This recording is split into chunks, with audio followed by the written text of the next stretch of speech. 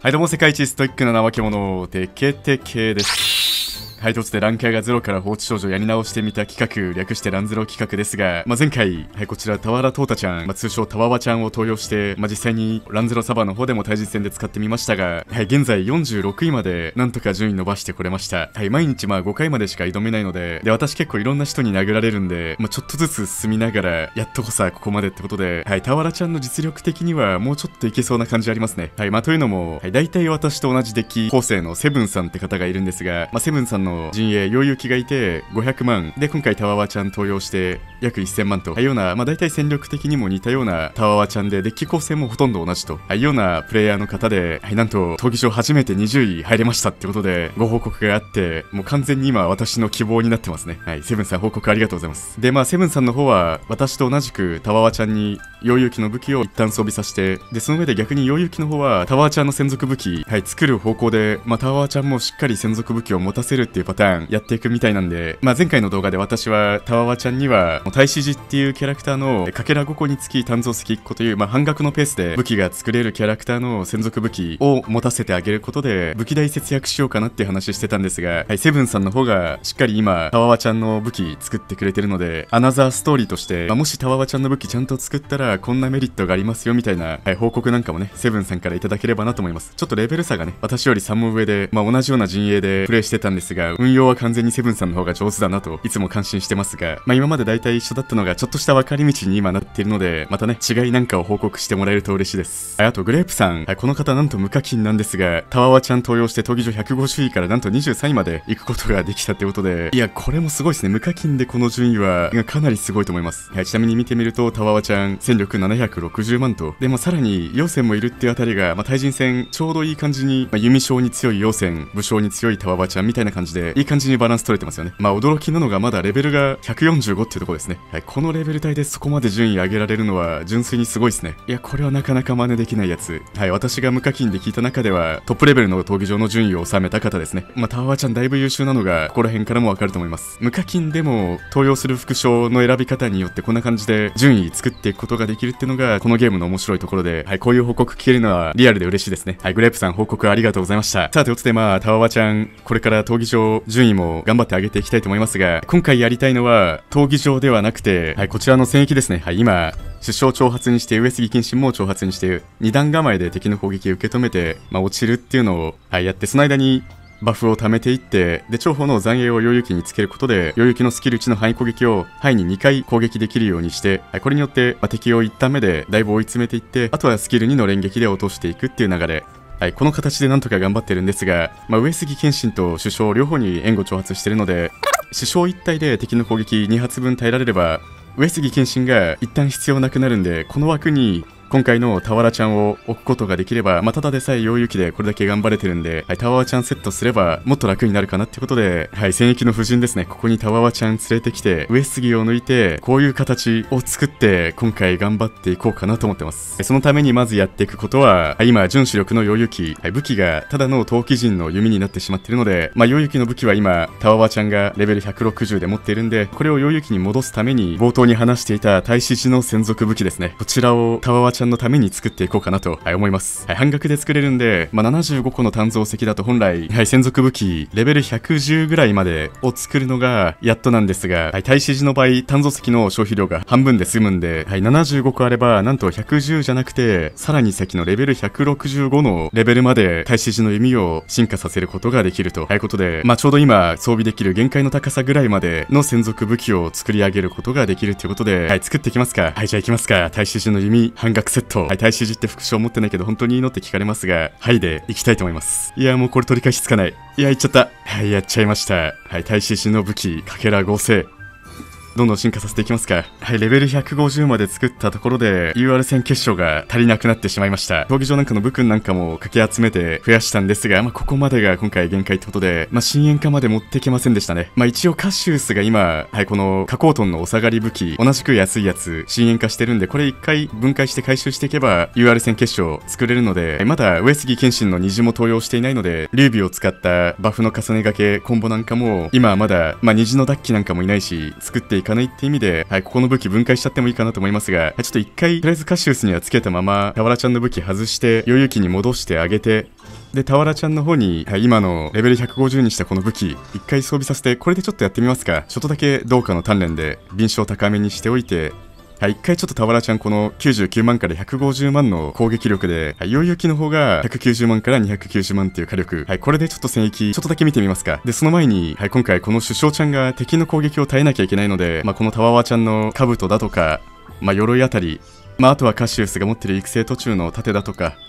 まあ、あと一応、まあ、武器なんかも渡しておいて、筋力値上げて、硬さ作ってもらえますか。はい、っていう感じで、まあ、少しでも敵の攻撃耐えられるように、はい、こんな感じで悪あがきしていこうと思ってるんですが、まあ、おそらくこれだけだと、敵の攻撃耐えられないと思うので、今回もう一個やりたかったのが、はい、このコントの兜ですね。はい、こちら進化させていこうかなと思ってます。はい、というのも、はい、こちら、少女の出会いの遊園地スタンプですね。前回映像にしてませんでしたが、最終日、無料枠分引いた後、ガチャ回していって、誓いの情はドロップしませんでしたが、スタンプの方が溜まって、遊園地プレゼントと交換できるようになったので、まあ、もうすでに実は1個持ってて、もう1個ここで、はい、プレゼントを交換して、今2個になったんで、はい、この遊園地プレゼントをしっかり誓いの情に変えていって、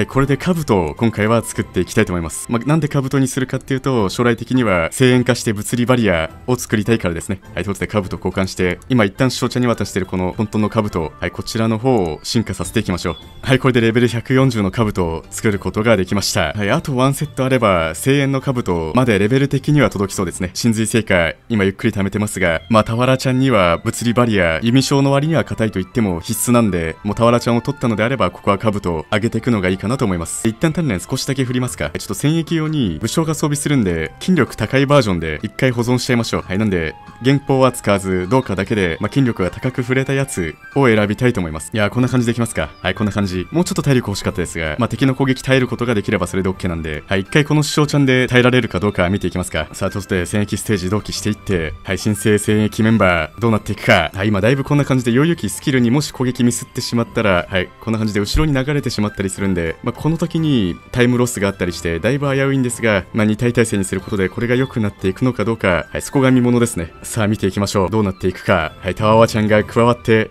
はい、まず主張耐えられるかどうか、あ、いけますね。クリティカル出た場合どうなどうなるかも一応見ておきましょう。はい、これで暴走が陽雪とタワワちゃんの2人について、デザイン映画重宝からもらって、はい、まずスキル値範囲攻撃。やや火力、やっぱりタワワちゃんに多分落ちちゃいますが、これで相手の HP ある程度低くなって、はい、ここからタワワちゃん攻撃当てれば、敵陣人数減らしていけるんで、いや、ちょっと苦しいか、でもこれ。はい、タワーちゃんの火力が今90万から150万と、やや低めに設定されているので、まあ、陽雪頼みっちゃ陽雪頼みになってるんで、はい、火力としてはやっぱり、やや不安残りますね。まあ、ただ、陽雪がスキル2で、はい、こうやって打ち込んでくれて、で、もしミスったとしても、タワーちゃんがまだ控えてるっていう感じで、あー、だいぶ余裕ありますね。はい、余裕できましたね。いや、でもやっぱり、タワーちゃんの火力欲しいですね。これスキル1で敵陣人数もうちょっと追い込めるように。はい、として、まあ、今、翔ちゃんに装備させてるこの加工刀の専属武器、もう一回剥がして、分解していって、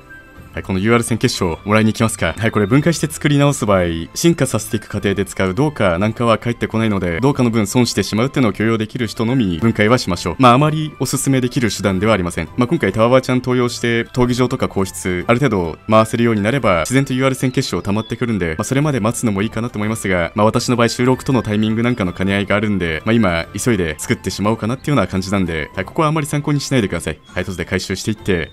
はい、タワワちゃんに装備させていた大使時の武器、こちらレアード突破で、はい、深淵化。どこかの相談窓口に相談してみてはいかがでしょうか。よろしければ、ウェブで自殺防止を検索できますよ。と、そんな思い詰めてないんで大丈夫ですよ。わかりました。はい。まあちょっとね、ここ今、声援、深淵周りはナイーブな人多いんで、シリさんも気を使ってくれたみたいですね。はい、ということで、やっていきますか。もう1点進化させていって、で、かけら10個足りませんってくるんですが、これは、はい、まだ鍛造石あるんで、作っていって、さあ、これでレベル160の武器まで作れて、陽雪と同じになりました。で、次もレベル155になるんですよね。で、そうなるとまた武器の進化、もう一段上いけるんで、はい、一応武器鍛錬やっていきますが、ちょっと緩めにやっていきましょう。またすぐレベルアップすると思うんで、はい、こんな感じでいきますか。さあ、あと、伝説神器の攻撃力だったり、と、陽雪の方は、これ指輪の伝説神器ないとクリティカルダメージが上がらないので、はい、ここら辺もバランスよく上げていきますか。まあ、まず、陽雪の方の物理会心ダメージ少し上げてあげないと、はい、いけないんで、とりあえず15個、今作れるだけ、はい、名声使って指輪の伝説神器取ってきて、で、まずは陽雪の方、はい、指輪の伝説神器作って、はい、で、15個しかないんで、まあ、そこまでレベル上げできませんが、トータちゃんの武器の方もちょっとだけ上げていって、あと、余裕の方の弓の貫通値なんかもちょっと低いんで、ここ頑張って上げていかなきゃですね。はい、これに関してはこの前訓練所ある程度進めたので、はい、ここの4大名所のところで、はい、訓練所挑戦権なんかを大量放出していって、伝説神器作っていきたいと思います。はい、まあ、経験値的には敵5体のところでやった方がいいんですが、まあ、そうすると結構前のところまで遡らないといけなくなっちゃうんで、無双神器の経験値なんかのドロップに関しては、先のステージ行った方がいっぱい落ちるんで、まあ、先にこっち突破してから訓練所挑戦権放出した方が良かったと思いますが、ちょっと順番的に今回は、はい、ここで訓練所やっていきましょう。もうやっちゃいましょう。はい、ここの経験値は敵人数が多いところでやった方が多くもらえるんですが、こっちの無双神器の経験席、ちょっとこの後出てくると思いますが、はい、この緑色のやつ、はい、これに関しては先のステージに進んだ方がたくさん落ちるし、訓練所なんかも先のステージに進んだ方がたくさん落ちるようになっているので、まあ、どっちを重視するかで、日々のデイリーなんかは回す場所決めておくといいと思います。まあ、経験値そこまでウェイトそんなに大きくなくなってっちゃうんで、先に進めば進むほど、神器の経験値なんかを重視しちゃってもいいかなと、私なんかはちょっと思ってる節ありますね。まあ、あと今日、水曜日の高速戦闘刺激2倍の日ですが、ここなんかも例えば木曜日の経験値2.5倍の日だとか、まあ、ゲットしたアイテム鋳造すると思うんで、鋳造値2倍の日、まあ、木曜日とか日曜日なんかがいいですね。はい、なんかに訓練所挑戦権大量放出するならした方がお得になりますので、はい、これもこんな感じであんまり水曜日とかにはやらない方がいいです。はい、あと倉庫の容量200じゃなくて200個に少しだけ拡張されてますが、はい、これ5タップなんで気にしないでください。さあ、ということで、まあ、仁義少しずつでも上げていって、はい、防御貫通でダメージ取るようにしておきましょう。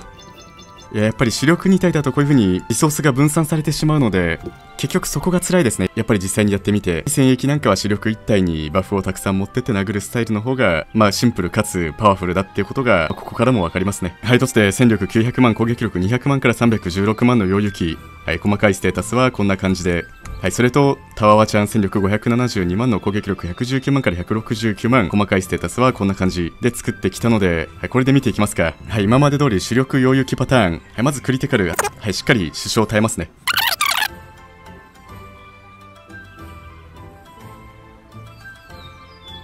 はい、はい、攻撃やってきますが、クリティカルが出てギリギリ落とせないところをタワワちゃんが落としていって、はい、敵人数を減らすことでスキル2の攻撃回数の節約狙っていきます。はい、火力はやっぱりややもうちょっと育てたいとこですが、まあこれでスキルにちょっと楽になったんじゃないでしょうか。で、あと超高名、ボス2ターンキルやっていくなら、ここ箱ばらまきに、はい、思い切って変えてしまうのもありですね。はい、これちょっとまた勇気いりますね。さあ、余裕機のスキル2で、はい難なく倒していってタワーちゃんの分を残してまずは154ステージなんとか回せました。はい上杉謙信一番上に置いてた時よりは安定性かなり増したんじゃないかなと思います。はいじゃあ今度はこの揚油機の火力を装備を1回全部外してタワーちゃんに全部移しておいてタワーちゃんの方の攻撃力を185万から287万。はい細かいステータスはこんな感じ。はいで揚油機の方が138万から193万で細かいステータスがこんな感じで。ちょっとこれで見ていきますか。はいスキル1揚油機打っていってやっぱり範囲攻撃あんまり強くないですね。弱くなっちゃいますが、まあ一番ダメージ受けた相手にタワーちゃんが、はい、殴っていって、まあタワーちゃんの方が主力になったので、はミスが。いやー、ちょっとやっぱり、戦役でタワーちゃん使うなら、タワーちゃんの専属武器装備させないと、あの、命中のパッシブが専属武器にタワーちゃんついてるんで、うん、タワーちゃん主力あんまり良くないですね。ミスが出ちゃいますね。余裕機に比べて。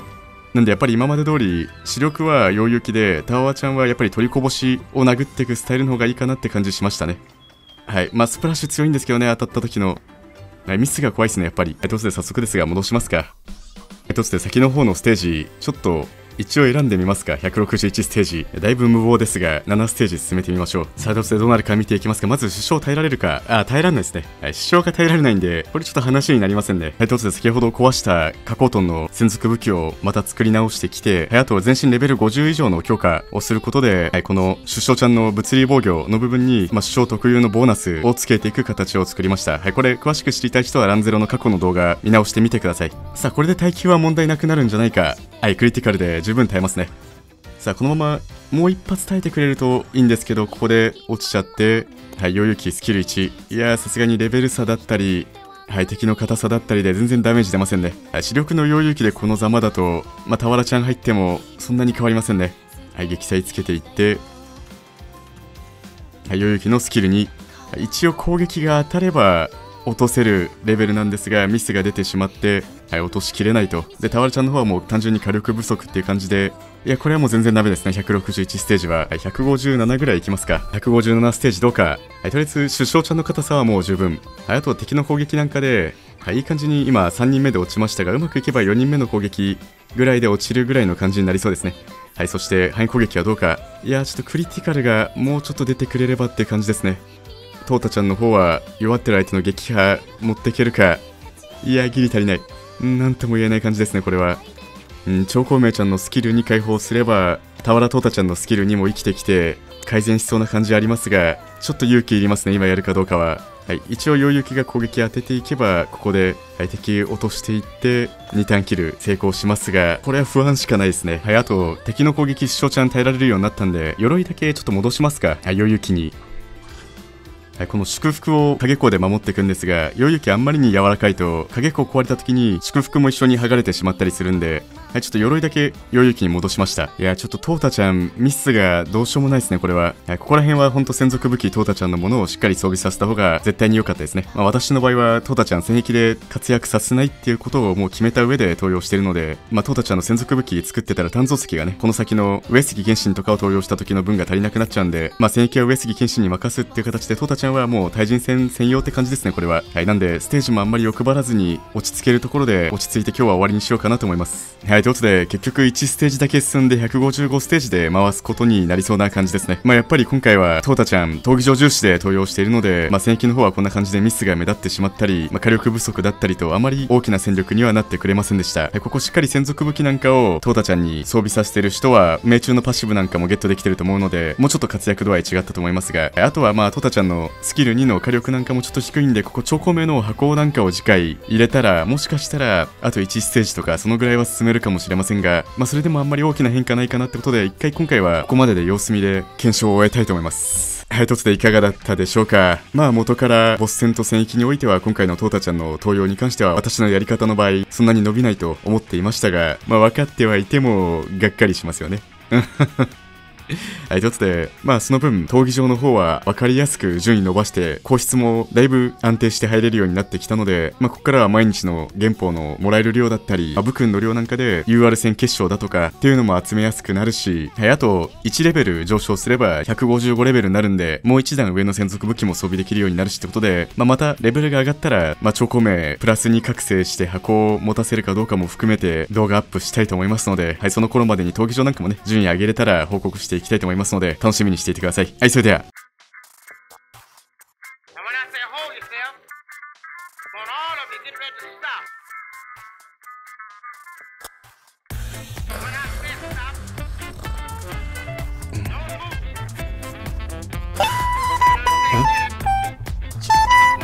する。おす。おす 뉴스